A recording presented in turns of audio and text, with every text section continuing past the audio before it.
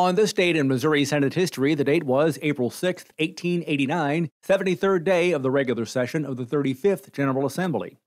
This Saturday session started with legislation directly promoted by citizens who had gathered in Jefferson City just the day before.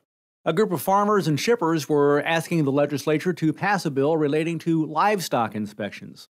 A second petition came from farmers in Audrain County who were protesting legislation that would appropriate $75,000 to establish a state fair and $13,000 to go to the state agricultural college.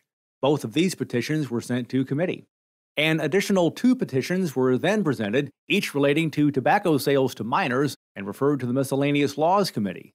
Several hours were spent discussing legislation until senators adjourned until 10 Monday morning. April 6, 1889, the date marking the 73rd day of the regular session of the 35th General Assembly, a Saturday, on this date in Missouri Senate history.